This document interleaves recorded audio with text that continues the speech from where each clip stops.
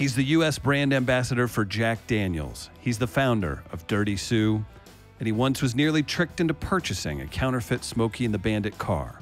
This is Rock on the Rocks with E.T.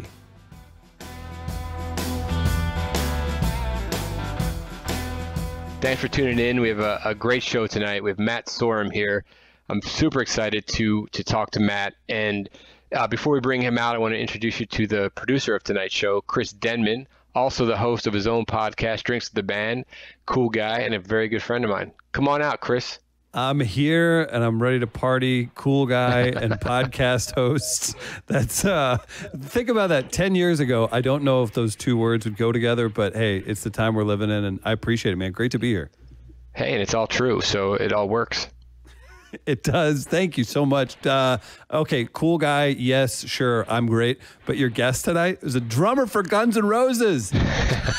like, how does this right. how does this happen? All right, time out, time out. If you don't think I'm freaked out enough that I'm going to talk to Matt Sorum in a minute or two, you don't have to uh, make it worse for me. But yeah, man, I, I, I don't know. Look, from a kid who grew up uh, never playing any instruments, just loving music from from you know my parents with the Beatles and all that came after that, and Sinatra, and then just you know continuing loving music my whole life to have a show where Matt Sorum is going to be a guest on. I, you know, look, it's it's. I'm not sure what's going on. It's incredible, but I, I do know you a little bit now. We've become good friends, and I see the potential with this. I know the stories that you have, but connecting with people um, over cocktails has been something that you've kind of hung your hat on. Yeah, look, it's it's. I, I think that's a unique world. I mean, I bartended for over two decades, and the last gig I had, um, arguably the best gig I had, that's where I met Matt. You know, he was a regular there, and look, he could have come in. I'm the drummer for Guns N' Roses, sat in the corner booth and talked to no one, and no one would have judged him for that, right? Because who needs to be bothered when you're out having date night or out with your friends? Um, but he was just cool, man. He he really took the time to get to know people that work there and be, you know, he was just a genuine good human and he was one of our favorite regulars. And trust me there's a lot of regulars that came in where you're like oh my god i'm on break you know i'm out of here. But when when matt came in it was just like you know look he was beloved at that bar. So i'm i'm really excited to have him on the show I'm going to brag on you a little bit here. I think people people are going to be excited to get to know you better and understand why people like Matt don't hesitate to come on and, and share a side that maybe we haven't seen somewhere else. Yeah, I, look, I don't think Matt knows me that well to make a good decision about whether he should be on the show or not. Um, but I, look, you know, to be honest, the the you know, I, I had never spoke to Matt for a thousand hours. You know, we've met a few times at the bar, and, and he's a good guy. But I think, you know, he's done this his whole life. I mean, he's been in band since he was a kid, and I think it's it's really Matt is is a genuine human being that knows the position he's in and knows that people really want to hear stories about how he got there and what it was like while there and where he's going from from there. And so I, I think someone like Matt knows it's part of the gig to, to do stuff like this. I'm just happy that he said yes to this one. Well, absolutely, but that's uh, what what happens is not everybody has that insight, and for you to be able to tap into that in a conversational show, um, congratulations, man! I think people are going to really enjoy this. No, look, I, I appreciate it. What you know, look, having come from the bar world, you know, there's a connection that happens at a bar between bartender and customer, customer and customer, and customer and stranger. You know, like so there's a an intimacy and a um, a uniqueness to having a conversation in a bar that you don't really see in, in any other line of work. And I'm hoping to kind of bring a little bit of that that bar, um, you know, that vibe to That's- to people so they can hear that from someone they might really dig, or maybe discover someone they never knew about and and be like, wow, that was cool. They really, you know, told me some really cool stuff. No, it's a way to do it. We're not all going to get that opportunity to sit down with Matt in a bar in Los Angeles. Maybe if you're in a city like St. Louis, like me, you catch somebody who played third base for the Cardinals 10 years ago. I don't know that uh, we're all getting the Guns N' Roses treatment. So I'm excited about it. I'm excited for the drink later. It's going to be Yeah. a good time.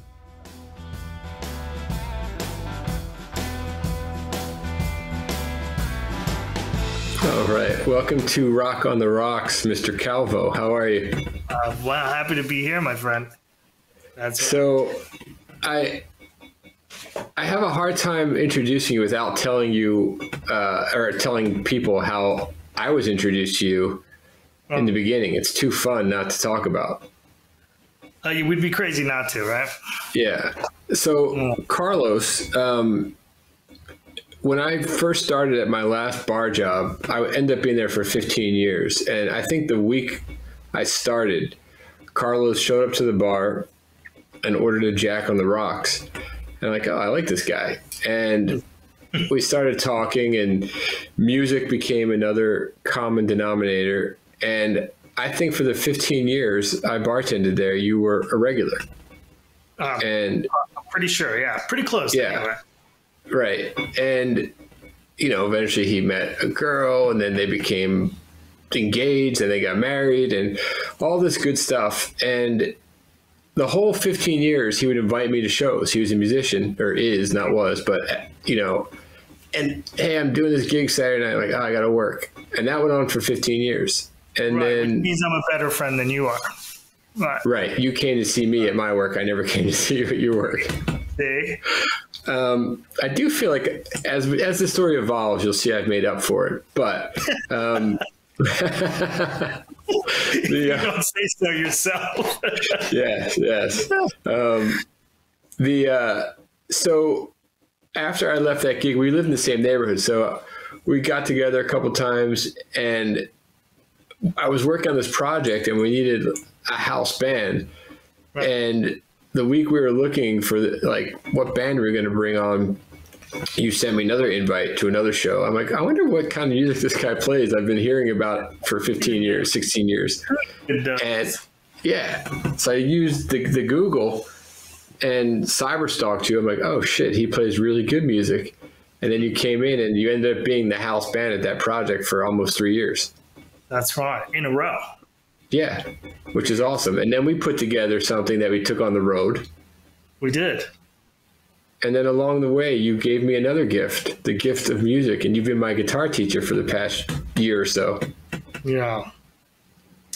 I So have. now that I'm looking back on it, maybe it's still out of balance. I'm telling you, I'm a better friend. I'm, I'm pretty sure anyone watching would agree. yeah, I, uh, I think I miscalculated when I made that statement uh, three minutes ago. Um, Kid, because I love you.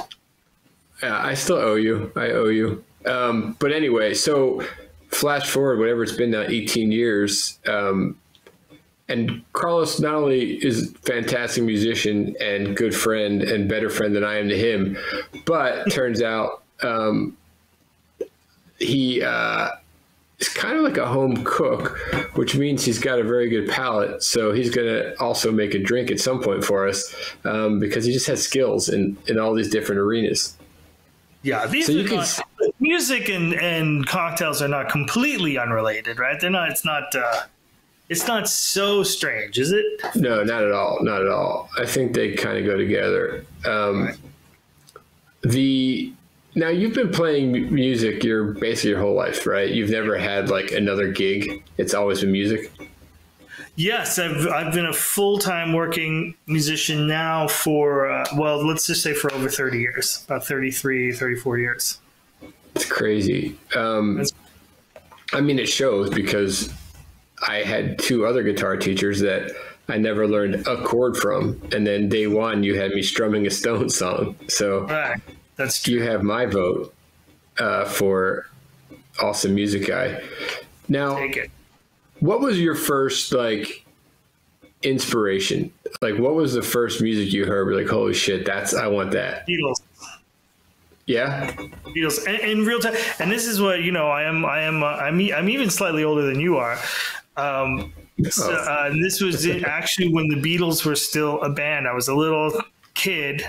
I was like three and a half years old, and I heard uh, a couple Beatles songs there, and um, and I happened to be in Spain at the time. Uh, I was my mom was going to helping taking care of an ill aunt of my father's, and so we were in Spain for a year. She she took me with her, obviously, and and uh, and an uncle came to visit, and he had some guitar skills, and I just hounded him, and I got you have to show me how to play this on guitar, and uh, and I have recordings of myself as a around a three and a half, four year old playing, uh, and I love her riff, and as well as a little bit of Let It Be. Crazy, right? right. Yeah. So time out. Would you would you say it's fair to say that if you brought that recording to our next lesson, that you were better at four than I am right now? No. Thank God. You're welcome. I only say that because we're we're on kind of public, so Right. privately I might have a different answer. No, no, no, no, man. Your your your skills, uh, your skills are quite quite good, and uh, the rate of improvement is uh, equal to the passion you have for music and things related. So uh, I'm just happy. I'm just happy that I was better than a four year old Carlos at, at yeah, yeah. You because that would have really been kick my butt. Yeah. either I would have just had to convince myself that you are the greatest, most natural talent that ever lived, Yeah. or I'm just Which you don't know that I'm not, you know, but That's but true. Uh, That's true. but Um, so, yeah, the Beatles. Um, yeah, what's fun is at the uh, beginning of COVID, we had you on the roof at the bar that we met at, um, Right. playing some Beatles, which was really fun. That that was really fun. That was great. I mean, you know, how, how to lock me in for a gig. Just ask me to come play some Beatles. Yeah, that And was then fun. Stones, Zeppelin, Hendrix, you know, accordingly, that was like the evolution, you know? Or uh, The Zeppelin, Hendrix, Stones. Let's put it in that order. Right. Um, now, in modern day times, is there anyone that, that you look to now? I know because I, I kind of live a lot in in those days of music. Is there anything currently or in the past, even five or ten years, that you've been like, wow, it's badass shit? Now, you mean like from a musician standpoint, like really amazing instrumentalists, or just band songwriters, like great? I think there's a ton of great new. mu- I'm, I'm a, I think I, ha- I have a very uh, unpopular opinion for people my age, but I think there's a ton of awesome, great new music, and even guitar players like Gary Clark Jr. You know, is just really fun. I love when he does Right. covers, the way he interprets uh, like his come together cover for some Yeah, bad film that he did, but that was was heavy. You know what I mean? yeah, We've heard that song covered before, but uh, but his take on it was bluesy, heavy, nag gritty. You know, uh, massive. There, there's also for the guitar nerds. There's a couple of kind of. I have a student that calls them like stunt players, like Joe Bonamassa and right. and, and Tommy Emmanuel and people like that. They're phenomenal players and with you know nearly boundless skill who could seem to just do anything. Um, for me, when you separate the great musicianship from the great like song, I, I even as a full-on guitar nerd, I start to lose interest. Right. I got So you. for me, there's a lot of really great, uh, like in the indie world, guys like, uh, um, uh, uh, what's his name? The guy James, uh, uh, War on Drugs, bands like this. Uh, uh, put me on the spot, man. Uh, This is what happens in my advanced age uh, when the bar is open this early. Right. No, it, But, it, it happens. But no, you've, you've, you've given it a bunch of good ones. The um, did I before we get to the drink because I really want to. Um, what's that? Jim, J- Jim James. Oh, okay. Yeah, yeah, yeah. There you go. Took some. Took a second. Um, Yeah. The uh, do I remember this correctly? When you decided guitar was going to be your thing, that your dad took you to a guitar guy in Spain to get your first guitar. Yeah, we bought well because you know my dad was from Spain, and so if uh, once he saw that I was uh, serious about guitar, he's like, "There's only one kind of guitar you're gonna play. That's Spanish guitar. You know, you're gonna play Spanish guitar." And he he found me this incredible teacher in New York City, And when it was apparent that there was no way I was going to be backing out of this, quitting, he, you know, it was time to have a respectable uh, Spanish classical guitar. And there's, you know, especially then, there's really only one place you can get them, and that's in Spain. You know, now you can you find them here. Uh, right. You know, they're imported with great frequency and great quality, but uh, yeah, but it was great going to going to Madrid and, and picking out a, a guitar was pretty pretty memorable uh, dad experience. You know, dad bonding experience. Yeah, it's pretty amazing. That's a good one. Yeah, um, cool. yeah I think I, the I think you've shown me that guitar too, which is gorgeous. Um, the uh, what also I know is gorgeous because I've seen this cocktail before. Um, this yeah. little Boulevardier you make. Um, I would right. love to get that going. Yeah, let, let's we can anytime. The bull, I love this cocktail. Uh, the first time I had, I was love at first sight. The first time I, I attempted to make one, I made one uh, for my wife and myself, and then have no memory directly after that, other than waking up. both of us fully clothed at around four in the morning on the couch, not knowing what the heck happened. You know, like, wow, that's some drink. You know, that was one drink. Uh, I don't know what happened. I, I don't know. Maybe uh, you know the immune system was down that day or something. But uh, but it was a memorable first experience. Uh, I wasn't scared to try it again though, because that's right. the kind of guy I am, as you know. I, see that. I see that. Fearless. What do you think? Should we mix one? I yeah, call this one. one. This is my little riff. It's a little tiny riff on, on, the Boulevardier, which for people, most of your audience probably knows, it's essentially a, Negr- a Negroni with the spirit swapped uh, from gin to uh, whiskey. And uh, I, have actually experimented with uh, many whiskeys, and I think because of the other ingredients, I think a bolder whiskey really is the best choice. So something like a Gentleman Jack might be a little too mild and smooth, or a Woodford Reserve or something like that. But uh, it turns out Jack Number Seven to me just does it for the drink. Cool. Nice. So, what do you think? I have a mixing glass here. Put some ice in it.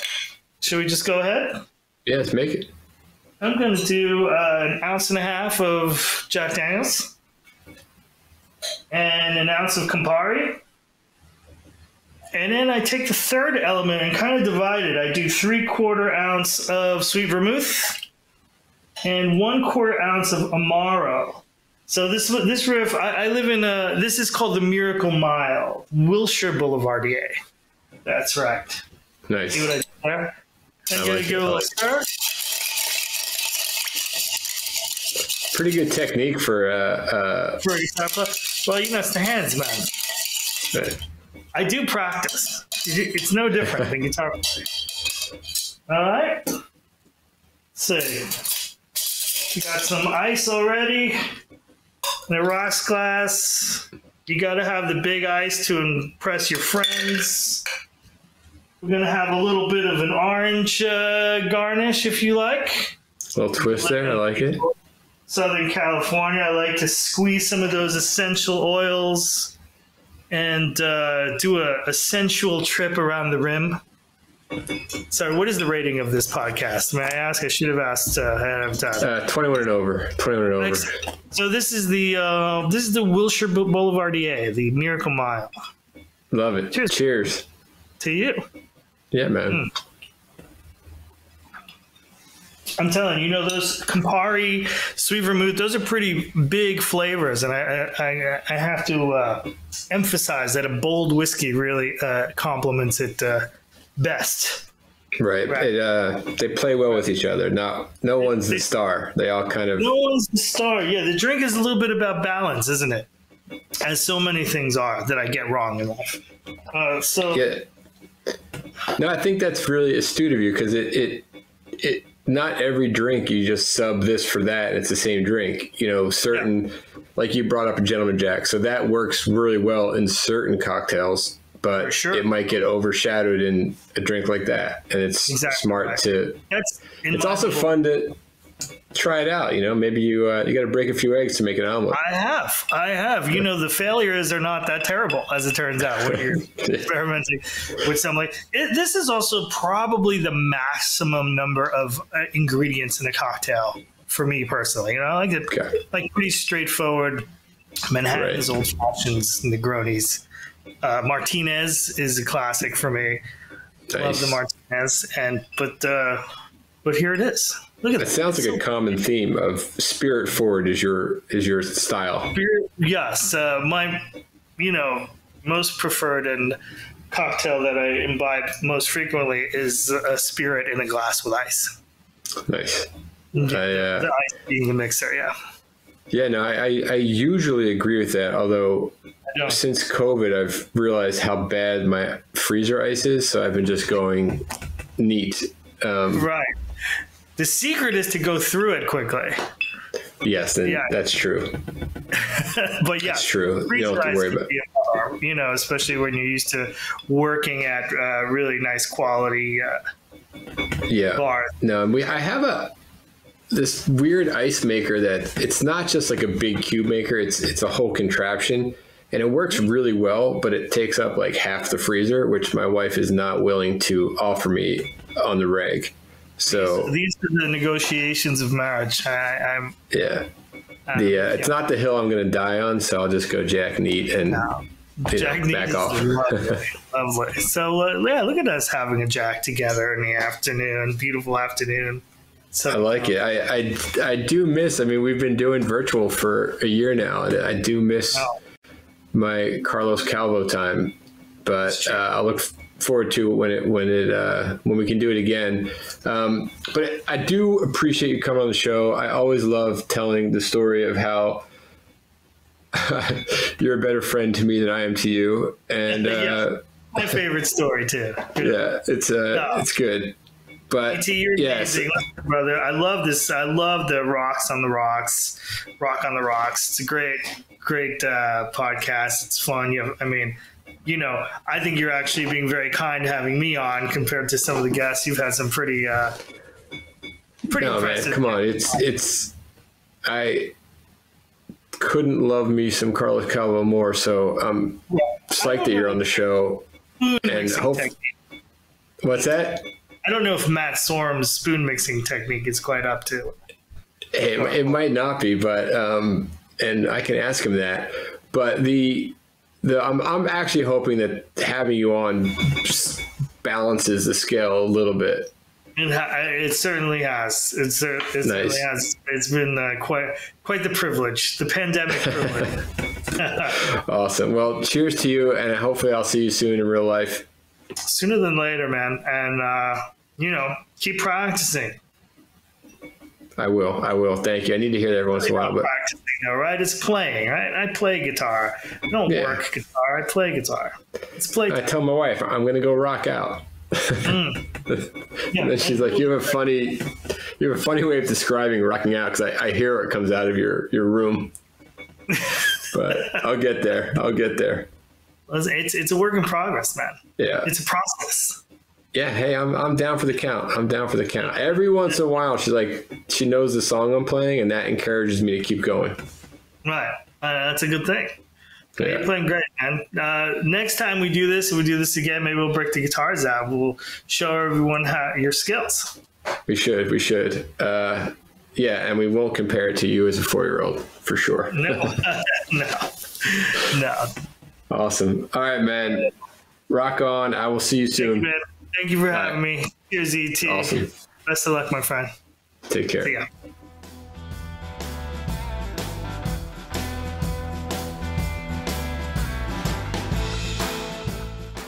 You know, it's weird. I, I met you at the bar I used to run in Hollywood, and you were, you know, you would come in and people like, oh, you know, Matt Sorum's here, and it could go either way, right? Like you could be what you expect of someone who's a rock star, or you could be a regular guy who happens to be a rock star. And luckily, you're a regular guy that happens to be a rock star because everyone loved you. Um, so I'm super psyched to have you on here. And you know, to me, you're you're a little bit of an anomaly because you were born and raised in Cali, and most people you meet in Cali, especially LA, are from somewhere else. But you're from here, right? Yeah, that is a rarity, right? In LA, when Yeah. you find out someone's a native, you're like, wow, really? you know, because it's been such a melting pot for so long, especially in the entertainment business. Everyone comes to to live the dream, you know. And uh, no, for sure. I I got to Hollywood in 1979, right out of high school, and I've been there ever since. And I'm I'm calling you today from uh, I'm in Palm Springs. I finally got a pad out here, and uh, we could talk about that. It's pretty cool. A lot of cocktailing see- going on out here. You got the appropriate oh. artwork in the background for Palm Springs. Yeah, there's there's our man. I got uh, where is it? Okay, there he is. All right, there you go. Yeah. Frank, of course. You know, Oh, nice. got that to go with it. And That's uh, awesome. this is Frank Country. You know, he lived literally about four blocks from my house. I'm in an old neighborhood built in the 60s here. I have a 1960s house. The year I was born, actually. I'm going to be, Oh, wow. my birthday's next month. But uh, anyway, Frank's Twin Palms estate is four blocks from me. He built that in the late 40s with a guy named E. Stewart Williams.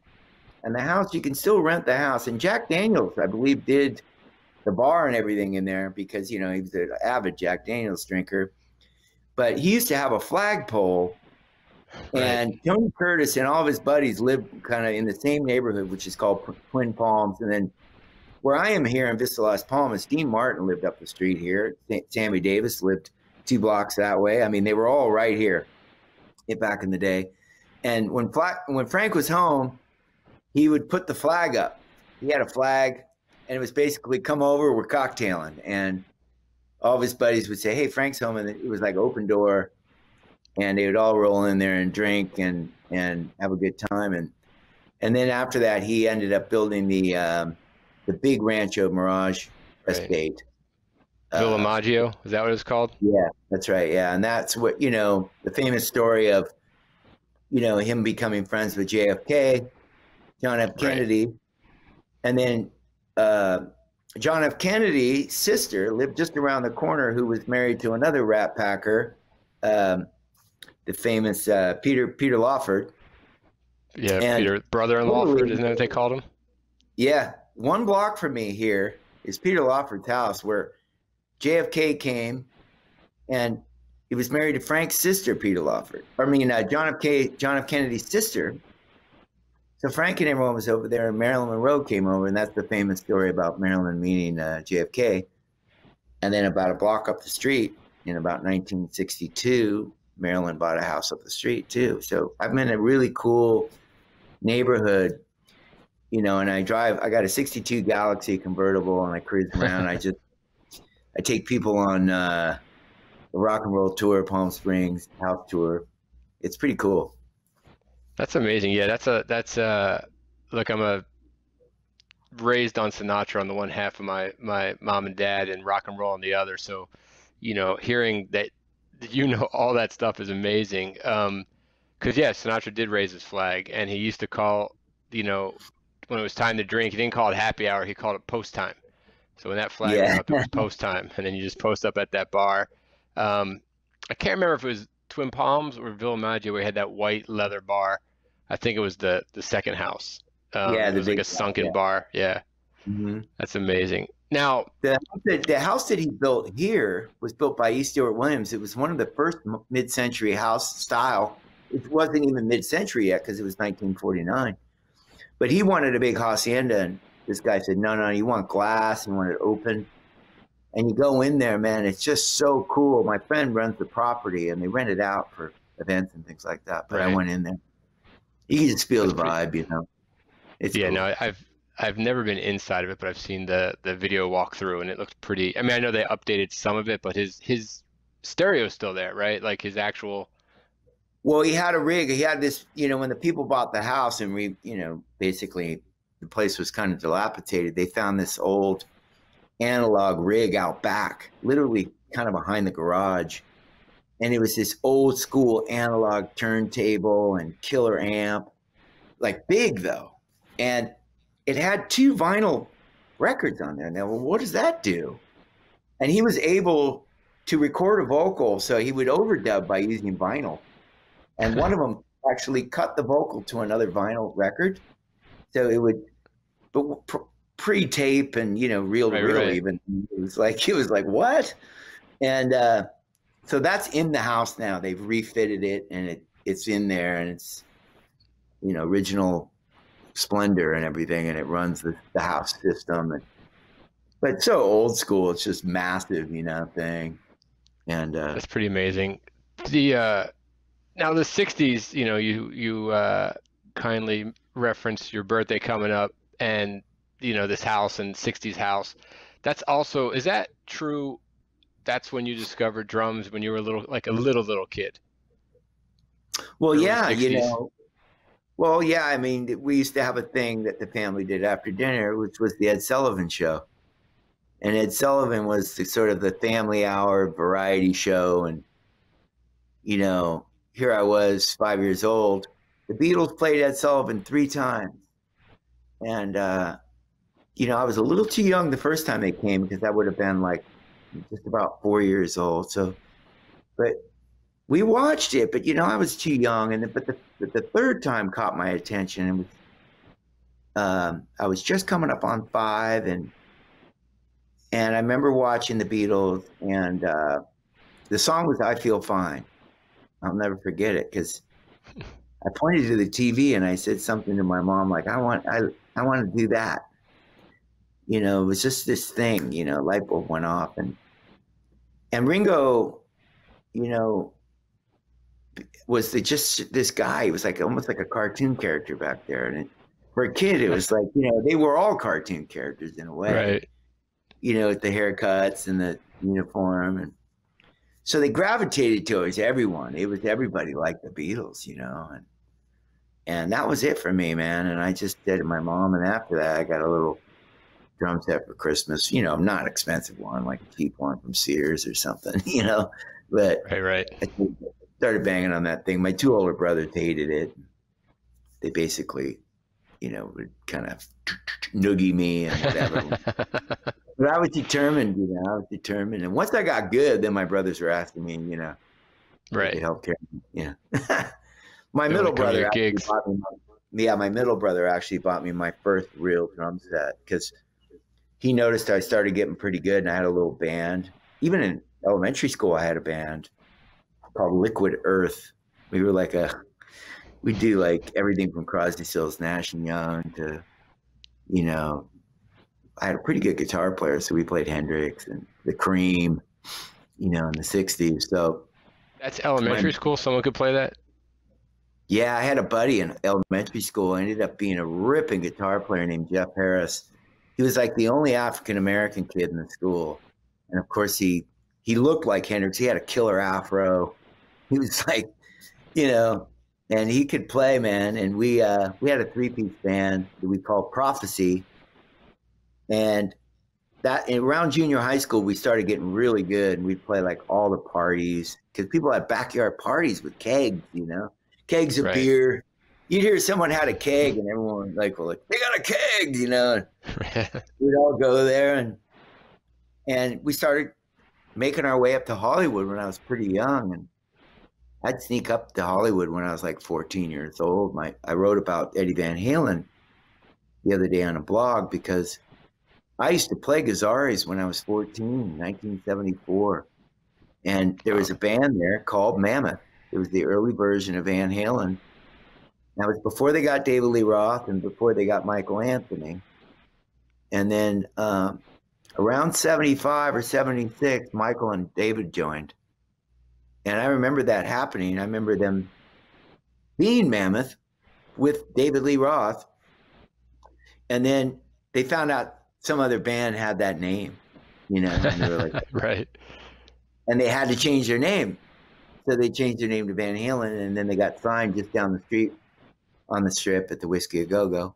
And the rest is history. But I was reminiscing about how I used to sneak into the back door of that club because I was, they had an all ages night, which was the night we played. So I believe that I was okay to get in there at that particular time. But there was other clubs that I snuck into and right. I was a kid. I mean, I was a, you know, I was a baby, but I was up there banging on drums. So I was up in Hollywood pretty early, and the Hollywood energy just sucked me in, especially in those days. I, it was just such a vibe. It was so cool, you know. What? What? I mean, you know, there was something special about that era and in that town. Like music. Now we got Nashville, we got Austin. You had Seattle for a while. You know, you have Chicago at some point. But that era, Hollywood was it. That was the epicenter. Like, what? What was it like for someone that will never experience that as a kid going there? What was it like? Like, what? What did that feel like walking down Hollywood Boulevard or Sunset Boulevard back in the day? It was. It was like a dreamscape. It was. Uh, so in those days, you know, obviously we had no internet. All we had was magazines. You know, we had Circus Magazine, right? And it was like this. The mystique of rock and rolls made you made you think kind of what might be happening. You didn't really know. There wasn't this information of you know what these bands were doing. You just could imagine what they might be doing. You know, you would think about Led Zeppelin in a castle. You're like, oh, they're in a castle. You know. So when I came to Hollywood, you know, when I was a kid, it was all there. It was like this melting pot of all these crazy, interesting looking people. And, you know, there was a club down on, on uh, Santa Monica called the Starwood. And that was another club in the mid 70s that I frequented. And there was, there was an interesting thing happening there. You know, it's the first time I saw Judas Priest and Devo was playing there. And, you know, all these bands before they really blew up. Well, Priest was already kind of big, but they were getting big uh, uh, I remember the first time I met Nikki Sixx. You know, here was this guy with this massive hair, and he had you know high heels, and and these guys looked like the New York Dolls, and everyone dressed crazy, and it was just, it was like a, it was like Disneyland for rock and roll, man. It was, right. You know, there was no, you know, nobody doing this whole social media thing. So you were just in this bubble of mystique and weirdness and coolness and you know, walking the hallways of the Starwood, or you know, I remember uh, doing that and seeing all these characters, and and uh, it was like a Fellini movie, but rock and roll. You know, it was makes sense. Like a smorgasbord of, I don't know, just energy and you know, everyone was. What was that first? Yeah. The what was that first show like? I you know I remember as a kid like seeing certain bands and that that one that's almost like life changing where you see a band for the like live for the first time that just kind of rocks your world. You're like, I can't even believe that's happening. Do you remember what that was for you? Well, the first big concert I went to, I actually went to see a band, the James Gang, but the band that was headlining was Kiss. Okay. And me and my buddy, me and my buddy, he had a he had a license, and I was only 15. And this was the moment that I thought I could make it as a drummer because I already had a band. I was playing pretty good. A lot of people say I was better drummer then than I am now, but I don't know. Because I was less, I don't know, just a kid, you know, I was just going for it. And I went to see Kiss, went to Long Beach Arena. And I remember we didn't have tickets. We were trying to find scalp tickets. And we had uh, $12 between us. And uh, the tickets ended up not being, we couldn't find a scalp ticket. So I said, hey, let's let's go up to the will call window. So we walked up to the will call window, and the lady said, "You're in luck. I got two fifth row seats center for five fifty each. Oh, Five dollars. Yeah." I go, "Oh my God, we have twelve dollars." we eleven dollars, and I remember we we ran down to the front. James Gang came on with Joe Walsh, and they were just killer and I love that band. And, and then Kiss came out, you know, and I, I, I, can't say I was a huge Kiss fan. I was more into like, I was into all kinds of stuff. I was into Sabbath, Deep Deep Purple, some progressive music. I was into gen, early Genesis. Kiss wasn't sort of like it was sort of like every guy, you know, everybody liked Kiss. Everybody liked Zeppelin. I can't say I was a huge Zeppelin fan till later because I liked to be a little bit weirder or different or something. I don't know. Right. So, but when Kiss came on, I remember that stuff was so simple. And Peter Criss drum solo, he came into the drum solo, and I looked at my buddy and I went, I'm as good as that guy. He goes, No, I'm better. And I went, All right. It kind of was like, the moment when I'm like, if he can do it, I can do it. And that was pretty much it. And, you know, obviously Kiss in those days, that was the Dress to Kill tour. And it was, it was awesome. I mean, I remember watching the show going, oh my God. I mean, it's like, and there it was, fifth row.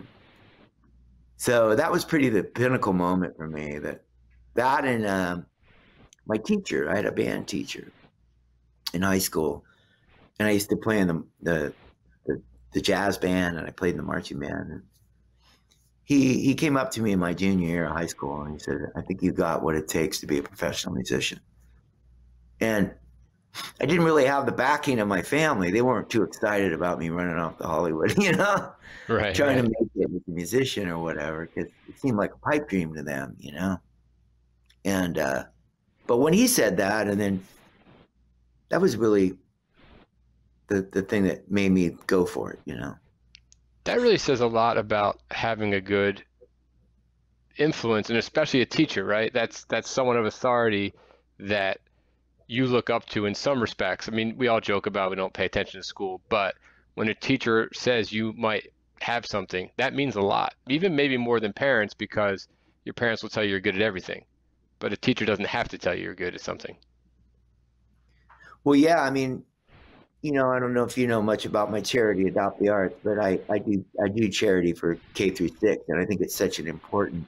Like, obviously, I was a little bit older when I when you said that to me, but I have about 600 students at the K through six level that I teach music and art to, and I see those.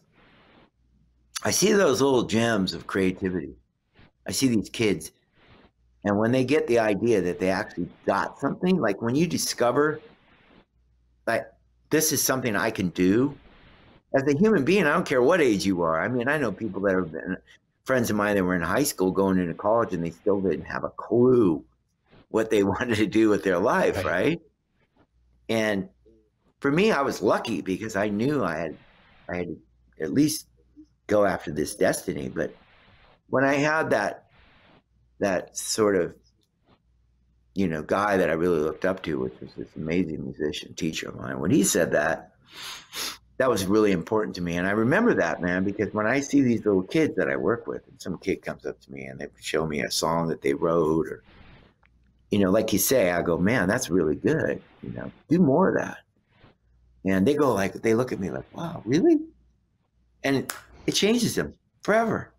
Yep. They're like, all of a sudden they've got, they, they're starting to build self-esteem and self-esteem, you know, uh, that, hey man, I'm good at this. And, and, uh, I realized I was, when I realized I had the talent, you know, obviously I, I, I knew I, it was do or die for me because I didn't have any other backup plan at all, you know? The uh, you know, it's funny you mentioned the teacher and you you took you're playing jazz drums, right? And most people really they'll just look at you and be like rock drummer only. Yet you've done a lot of different stuff. And one thing I found shocking because I didn't know this, um, and I'm a big fan that you played with Tori Amos before anyone knew who Tori Amos was. Yeah, I did. Well, you know, you got to remember. So, coming to Hollywood in the late '70s, you know, so here I was, a pretty young kid. When I finally moved there in '79, stylistically, music was changing. You know, punk rock was happening in England, and then we had this West Coast punk rock thing starting to starting to brew, and then new wave came in the early '80s. So, as a musician in Hollywood, if you were going to be in a band or have any kind of sense of like, oh God, I, you know, because I made one promise to myself. I was never going to have a real job. And if I could make a living playing drums, that's what I was going to do. So I used to play top 40 music. I played at Disneyland. I used to play the Marriott Hotel by the airport. I played the Black Angus five nights a week, 50 bucks a night. That's what I made. And drinks. It's a good. That's And, not a uh, bad deal all of a sudden. So I used to play at the Marriott Airport Hotel five nights a week in the lounge. I had a little band in there. And the girl that was at the piano bar in the middle of the lobby was Tori Amos. And this is about 1983 or 84. I walked up to her and I said, Who are you? And she was sitting there playing like classical and then breaking into like Bad Company by Bad Company, or and, Right. and then singing like contemporary covers, but with this like insane piano playing, and her voice was like, because I was already into like Kate Bush and Peter Gabriel, and like some esoteric English music, and I'm like, you you remind me of Kate Bush. And she said, "Who's that?" I'm like, "What?" So we we hit it off, and I said, "We we're going to start a band together." So we started a band, and I knew a couple guys that I thought would be the perfect fit. We put a band together, and we literally played around Hollywood for two years. We were kind of new wavy. I'd cut my hair into this like crazy pompadour because that's what was that's what was happening. Like the Knack showed up, 2020, Plimsouls. Everyone was wearing skinny ties and cut their hair, and rock kind of was non-existent. There was no rock bands.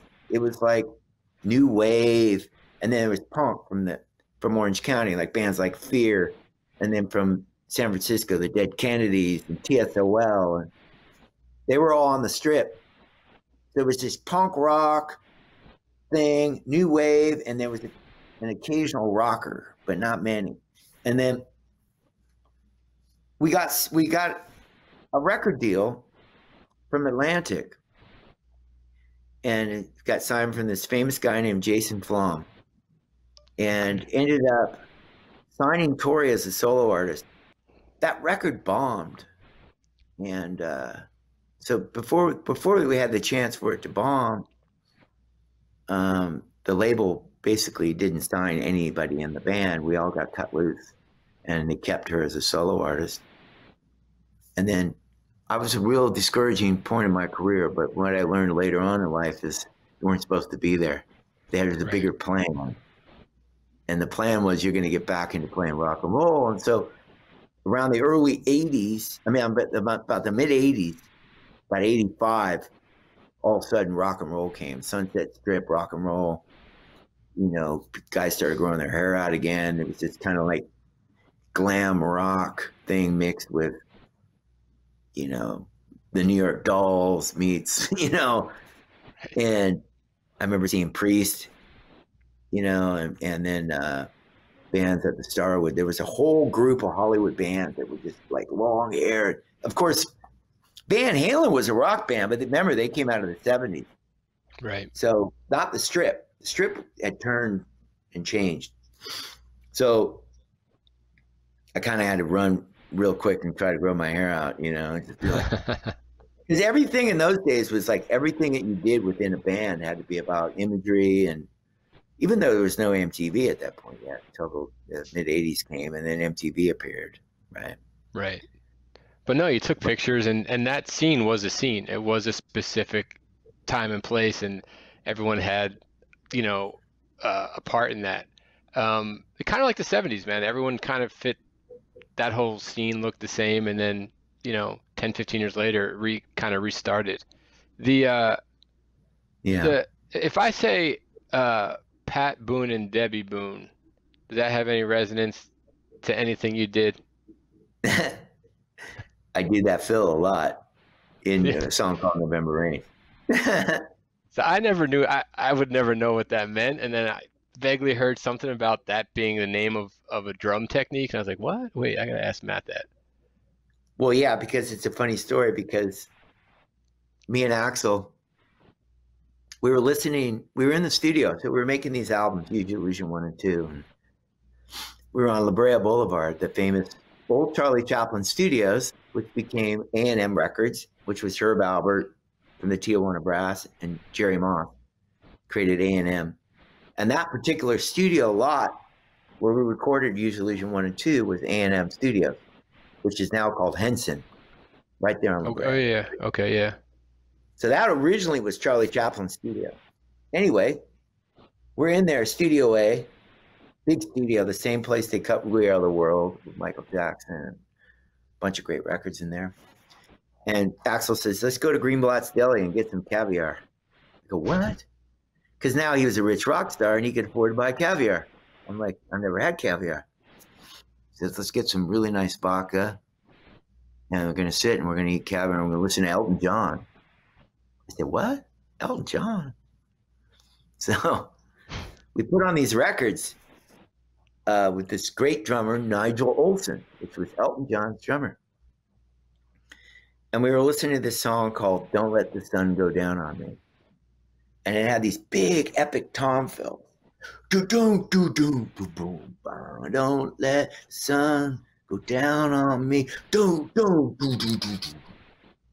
And Axl says, "You know that song November Rain that we've been working on? I want you to do that." And I go, "Okay." He goes, "But come up with a fill that you do like every time." So I do that fill, Pat Boone, Debbie Boone, 21 times in that song.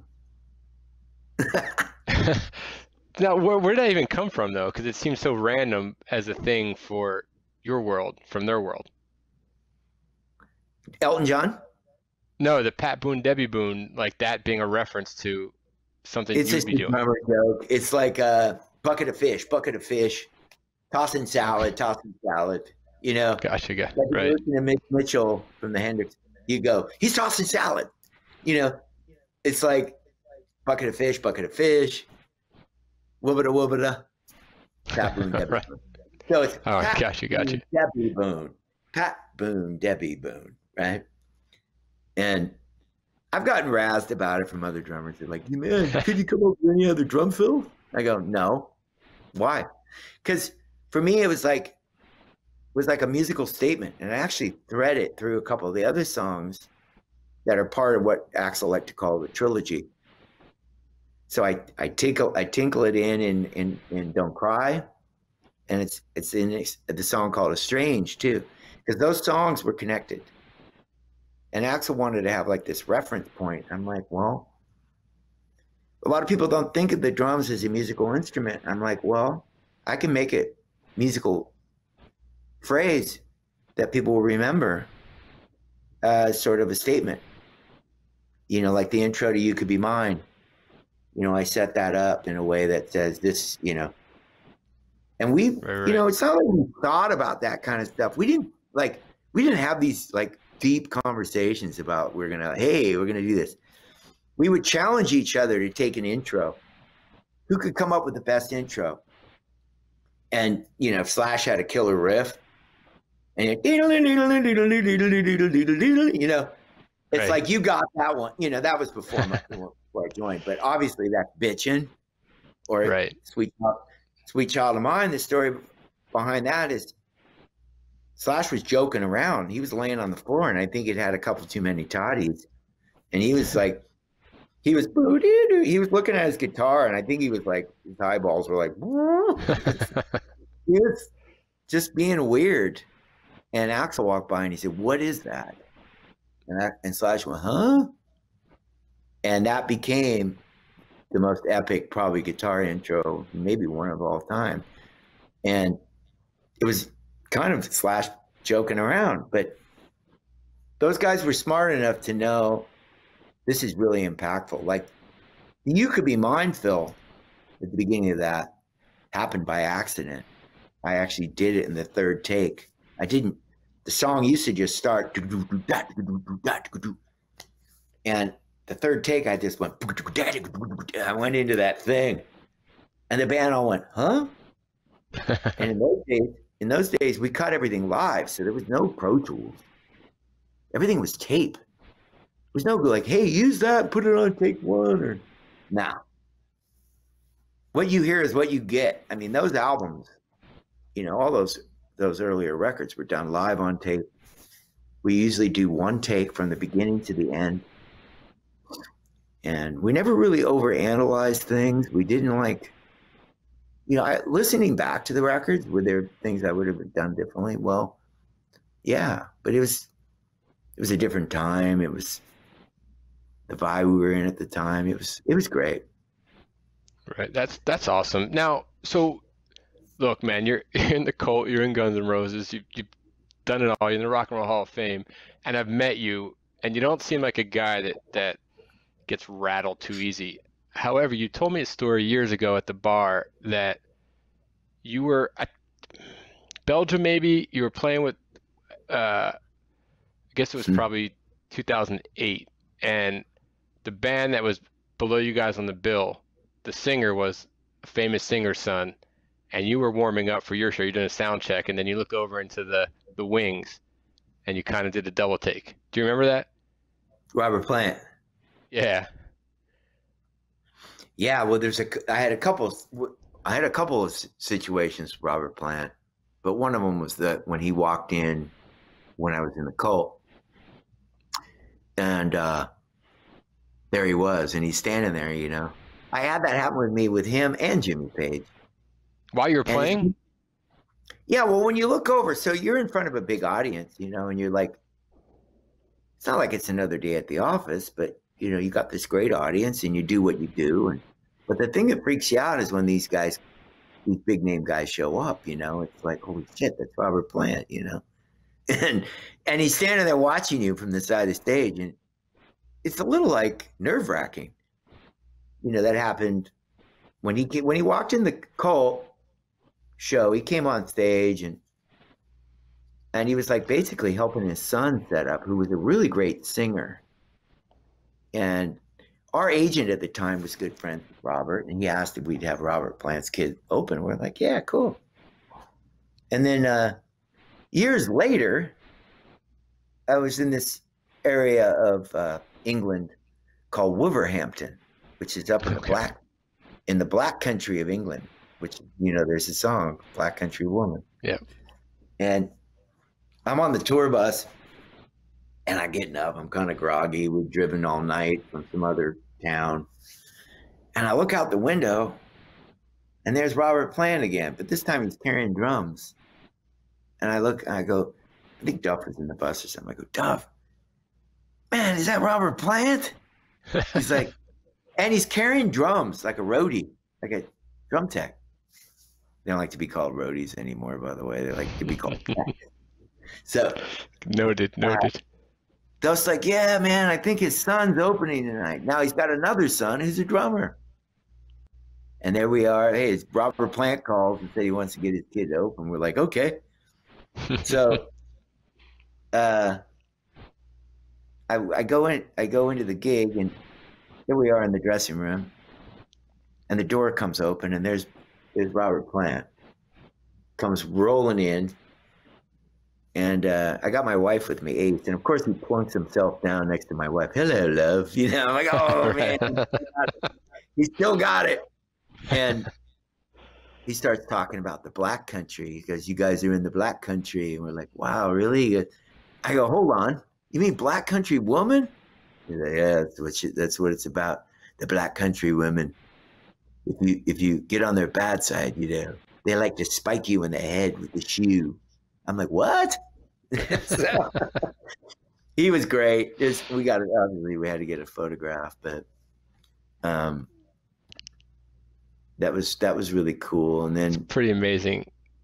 yeah, The, we uh, had those now, do you know- run- Go ahead. You know, Go ahead, man. yeah, we had those kind of run-ins, and I think, I think maybe on that same tour, I remember we were we were playing this place called the Apollo Theater in uh, in London. We had like we did like seven sold out nights there.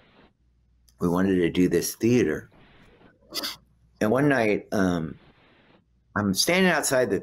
We had two tour buses in the back, like trailers or tour buses or something. I can't remember but uh all these cool people were coming like you know really interesting people showing up london people and celebrities and stuff but i look and i see jimmy page and brian may walking towards me from queen brian may and jimmy Right. and i'm like oh my god and i get and i'd known brian i'd met brian before because we played the freddie mercury tribute and he's a sweet man he's one of the coolest guys in rock and roll and i go brian He's like, meet Jimmy. And I'm like, oh, Jimmy Page. Wow. and it's kind of like, hey, man, I'm still a fan. You know, I'm going to fanboy out a little bit. I'm going to get, you know, we all are fans, you know. And I go, hey, hold on. Let me tell Slasher here.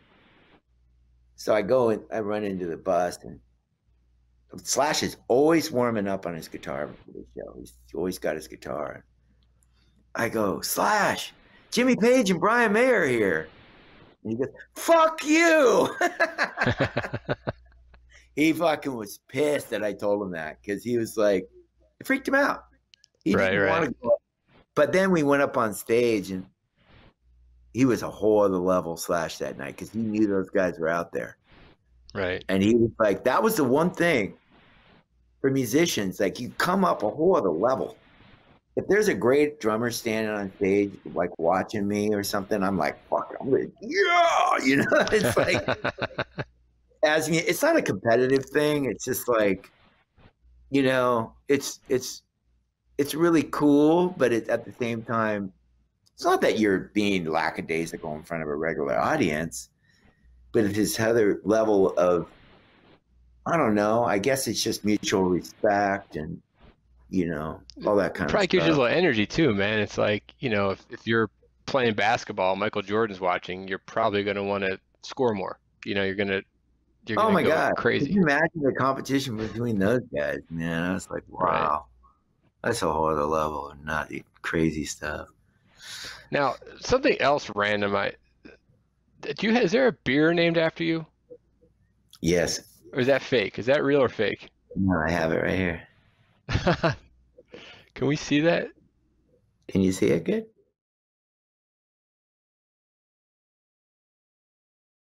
Well, that's not I'll have someone in- photoshopping. I'll you have it in real beer? Yeah, I do. That's real beer. That's amazing. It's When is from- it coming out? Uh, it should be out in December. We're working on that right now. Um, it, we're going to start at Bristol Farms.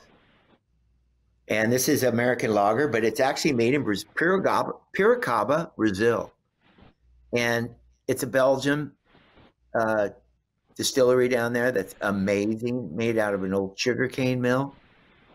And I went down there to Piracaba, and the guys just, they love rock and roll. And they're like, we want to make you your own beer. And I'm like, okay, what are we going to call it? And I was like, let's call it a Portuguese name for drummer, which is O Baterista. And they go, no, let's call it the drummer. so I got online. There was no drummer beer. And I'm like, the drummer. I thought it was a cool name. Yeah, man, it's awesome. And so That's this is the epic. American lager. And then I got an IPA coming.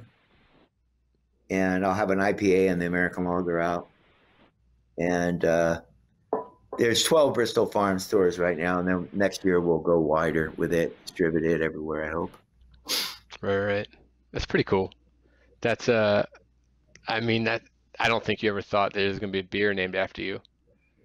Well, you know, you see a lot of rock and roll guys doing doing alcohol, and the one difference, the difference true, I, yeah. want, I want to kind of say about the drummer, I don't want it to be like a rock and roll beer per se. I I I want to describe it as drums are sort of like the heartbeat of energy and and rhythm in general. I think we all have rhythm in our life, whether we know it or not. We're speaking in rhythm right now. We're walking in rhythm. Everything we do with transcends through our heartbeat. We're all rhythmically connected. So I, I'm going. My whole pitch behind the beer is find your rhythm in life. You know, find you know this whole kind of thing where we're gonna. We got really cool webisodes we're gonna start dropping that are all about that. Like if it's a surfer that finds the wave, a guy skateboarder, you know, kite. Everybody that finds any kind of movement that really inspires them, it's rhythmically based and the drummer sets the tone for that you know and that's the that's the idea that we have behind it and of course i want to i'm going to try to do like really cool like drum you know there's so many killer like drummers online now like just you go on there and you're like ah I can't watch it anymore you know Right. like kid drummers i'm like i'm like oh Yeah, it's crazy. know? Some of those like four year old kids that are just doing, you know, baby boy baby solos, boy. yeah, There's that yeah. Masha girl. She's just blowing up. It's like, but uh, yeah, we're gonna have fun with it. You know, it's like for me, it's I'm an entrepreneur now. I'm doing all kinds of crazy stuff, but it came to me. It's like, okay, man, I'm in. Let's do it. So Right. Well, then what, you know, look, man, you you saw the Beatles on TV and then, you know, you you went and saw Kiss and realized you can do this and you did it. And you went to the highest level you're gonna, you know, people can get to in your field. You have a charity. You have a beer coming out.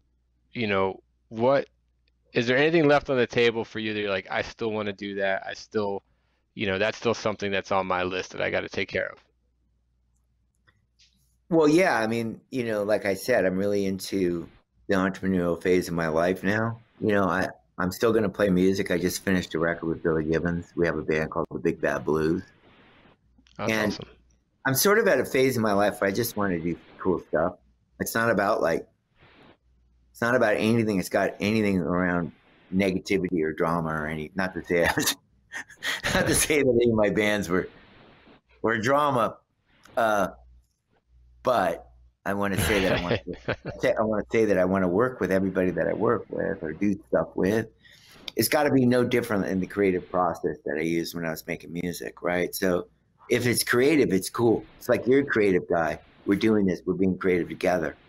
So if somebody comes to me and says, "Hey, let's do a beer," you know, then we got to into the whole process of what's the label going to look like, and it's all fun, you know. And it's like, and if you can make a living, make some money doing it too, oh, great, better.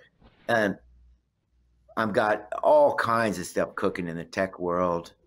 I'm I'm doing like crazy interesting projects in that world. So I'm looking, always looking for like something interesting, you know. And uh, I'm, I'm Billy's Gibbons is coming out here this week. We're talking about putting together a really cool blues festival, which I want to talk to you about later. Sounds Um, good. He's, just, he's the king of. I love that guy. He's just for me. He's the end all, and he's the desert guy. The hot rods, cactus, tacos, you know, drinks, cocktails, whatever. you know, it's like so we're, you know, we're always doing that, um, chucking and jiving on what we can do together. That's cool. But what Very I cool. find, you know, I find as a drummer, um, you know, being a musician, you know, it's it's it's a volatile world being a musician. You know, especially right now, things are so wacky. you know, Right. but I'm like, well, what can we do to find some solutions for this virtual space we're in? I'm in that world right now. I'm messing around, but you know, um, who knows? You know, it's like for me, it was like that with music, so it's no different being an entrepreneur.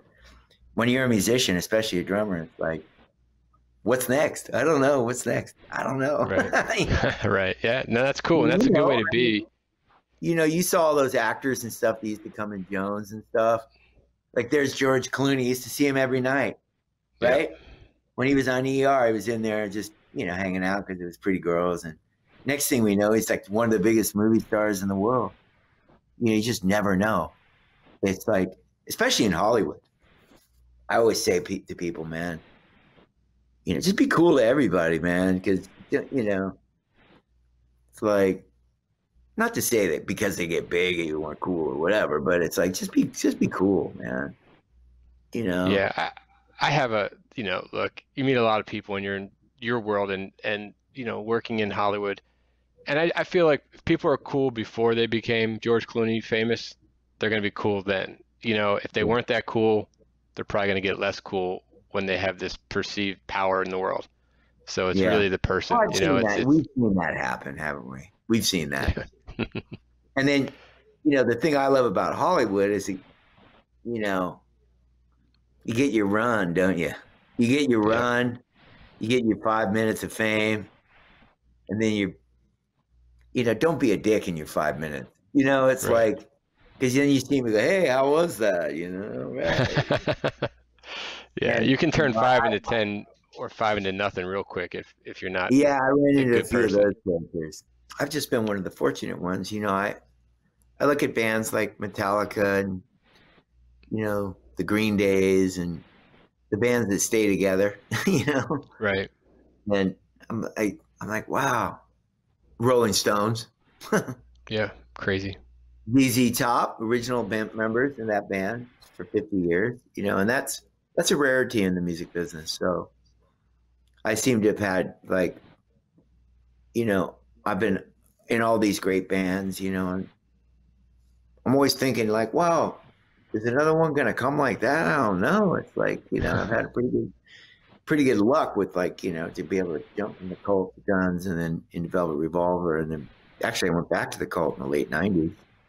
Right. Made another record with them, toured again with them. And then, so, I mean, we remained friends, you know, the cult and, and me. And, um, you know, if they called me tomorrow and say, "Hey, we want to go on, want you to come out on the road," I would be like, "Well, let me think about that for a second. Okay.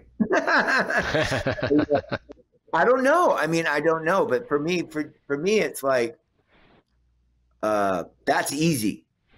You know, for Right. me to play with Billy Gibbons is no not only he's a hero of mine, that gives me this sort of like this other feeling I get. It's like when I went and joined Motorhead for that short period of time. I, I don't know if you know that, but I went and played Bre- uh, Lemmy. vaguely, yeah. Right. You know, that was like, as a musician, it's like, okay, uh, that's like really big honor. and same thing when I when I joined with Alice Cooper and you know did the Hollywood Vampires for a short stint.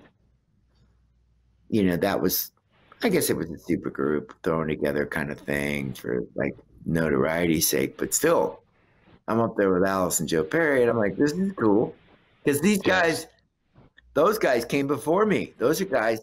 Me and my buddy went to see Alice Cooper in the mid '70s, and we saved up for in those days what we call the four finger lid of weed.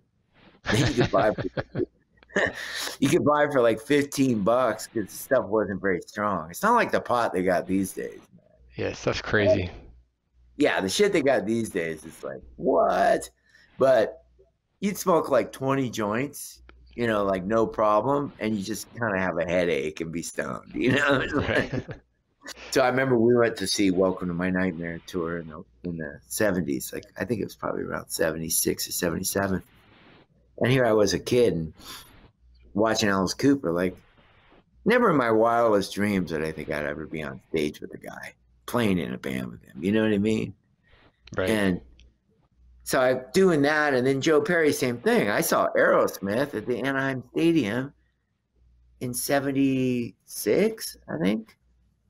You know, and then here I am with Joe, and now we're, you know, we text each other. He's like, he's like a friend. It's weird, and and I still think of it that way. I think like, man, I look at it. I actually look at all of it with a lot of gratitude. I'm like, I'm living the dream of like any kid that wanted to be a rock and roll band. Here I am, you know. And then the weirdest one of all of them is along the line, along the way, I met Ringo. right. And, and I was like, what? Like, this is just getting weird. That's crazy. like, the guy called me on my birthday. He calls me. He did a video for me online. I'm like, he invites me to his birthday. I'm like, wait a minute. So I'm like must- super. gra- yeah. Like, Look, man, you just in five years old, you're watching Ed Sullivan show, and that guy inspired you, and now he leaves you birthday messages. That's got to freak you out. It's kind of a freaky thing. It's like, is this Yeah. is this like is like is this a God thing? I think so. you know, right. I yeah. start well. I became a real. I be, I'm a real believer. I'm a spiritual guy, and I, I believe all those energies that are around you are are stuff you need to like really be grateful for. But at the same time, you have these experiences, and then you turn around and you you, you do what you can on your part. Like there's some kid in Brazil that thinks I'm a Ringo. You know, there's Right. I don't know. I mean, there's people that go like, look at me and go, "Whoa, man, you're like the guy." You know, I'm like, well, I don't, you know, feel that way about myself. I'm maybe Ringo wakes up every day and goes, "I am a Beatle." You know, it's like I don't know. like, yeah.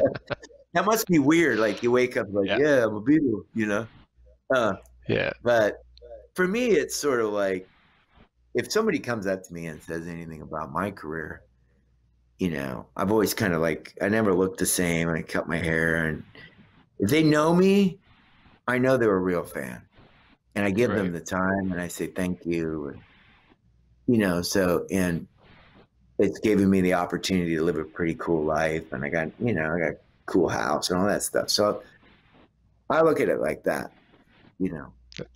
That's a good way to look at it, man. Is there any, you know, if if I, I know you do it through your charity, but if if anyone watches this that that's a young kid just being insecure or feeling like they'll never get good, what advice would you give them if if you're like 12, 13, 14 year old self could hear someone like if you didn't have that teacher to give you those kind words, what would you tell someone like that? Well, I think if you got it in you that this is your passion, right? Find your passion, you know, whatever it is. Um, and believing your, you know, believing in yourself is the hardest thing to do because you're going to look on now. I think it's tougher for for kids to look online and have all this comp, all this stuff that they're seeing. It's like this this juggernaut of, you know, just information and look at all these people and there's there's all this, you know, and what do I do to navigate that? You know, how do I do that? Like I told you my story. I came to Hollywood in a forty dollar station wagon, you know, and I drove up here. There was none of this madness of right, you know, information overload. So I would say to any young kid, believe in what you're doing and go after it, because in this world, anything is possible. You know, it really is, and believing in yourself is the first step, and then, and I always say, look you're going to hear a lot of no's before you hear yes. But remember, every time you hear a no, it's not about you. It's not about, don't let that, don't take that as a negative, but just go the another step further to be better the next time and keep lifting it up. And because a lot of people take no as it's like a personal thing and then they go, you know, my wife's a dancer she's a dancer, and she used to get cut. She'd go to a dance audition with 300 other girls, and they would just cut them like, nope, nope, nope, nope, out. And she'd come home and she's like this. I go, aren't you bummed? She go, no, I wasn't right for the gig. I was just like, what? I was like, I just never could see that. So I always say to young musicians, man, you're going to fit somewhere. It's going to be the right time and the right place. And you believe in yourself, play your play the music, find your niche, and go in there and get it. And for me, it was rock and roll. I got in the right band at the right time, and that took me from the cult to Guns N' Roses to Velvet Revolver. And I say to people, my life has been based on probably the biggest of that band with Guns N' Roses. So take that that opportunity when you get it, and then you know you're able to morph into other things because of that that thing that you built, right? But for young players, I just say work hard. Work ethic is there, man. It's not like you got to work hard at anything you do. And um, it didn't happen by accident. It, it was a lot of hard work. There was some luck involved, it was being in the midst of the energy that I talk, talked about earlier. I was in the the pinnacle time of Hollywood, where you know meeting other great musicians, and you know, so yeah. keep doing what you're doing, man, and and just go for it. You got nothing yeah. to lose. That's what I say. I agree with you. I mean, luck happens when you're when you're ready, right? When you practice and you're ready, that's when luck happens, right? Because that same opportunity presented itself and you hadn't done the homework, it really probably wouldn't present itself or wouldn't become something. So I think that that is really good advice to to anyone pursuing anything. You know, get yourself yeah. ready for when opportunity does knock. And yeah. um, that's cool, man. Um, look, I, I you know had some tech issues, but you know I know you're in Palm Springs with your wife and and living in the land of Sinatra. So I, I really do appreciate you being on the show, and I look forward to when this is all over and we're at the diner down the street from your house having breakfast one day, or or uh, you know just whatever, say hello. So good to see you. Well, I do appreciate yeah, it. You know, I appreciate you reaching out. You know, I know it's weird right now, especially in the bar world. You know, people aren't able to have this interaction. Right. You know, I, I remember when I first moved to England with the cult when we, you know, and I learned, I, I finally discovered pub life and I go, oh, I get it. I understand the community of pub life, the way we used to feel when we went to Jones's. You know, we were family. It was like go in there. And, you know, I go to a whiskey bar. It was like, that was my living room, the whiskey right. bar. You know, I'd go in there and drink with my buddies and meet all these cool, you know, and it's like that in any bar in the world.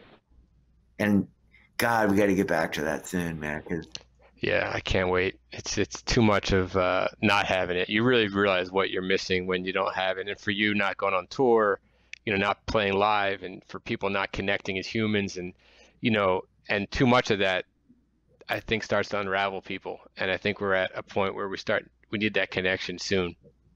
Yeah. All right, man. Well, thanks, man. All right, enjoy it out there. Sister Frank.